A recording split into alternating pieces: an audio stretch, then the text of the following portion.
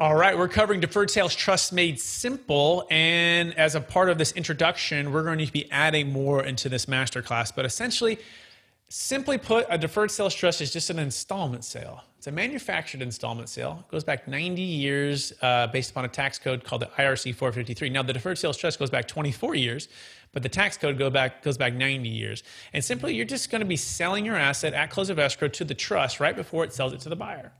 Okay, and by doing that and by carrying paper 100%, you are in a deferral state until and if you receive any of that 100% back or any of that interest, which would be ordinary income tax. So, simply put, it's just an installment sale. And after thousands of closes and helping countless clients go through all of this, uh, we're trying to simplify this for you. So, you're going to see some videos below to walk you through it.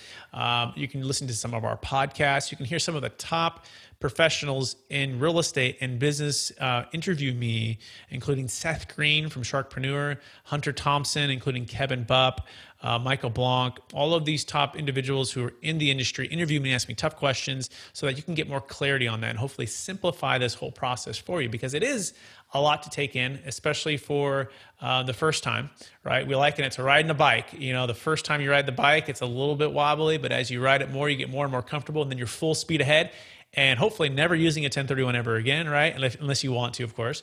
Um, and creating and preserving more wealth through the transformational part of the optimal timing wealth plan. So that is uh, an intro to this part of the deferred sales trust made simple. And we're going to be putting clips and videos and podcasts below so that you can get crystal clarity on what it is what it's not and how it can best work for you.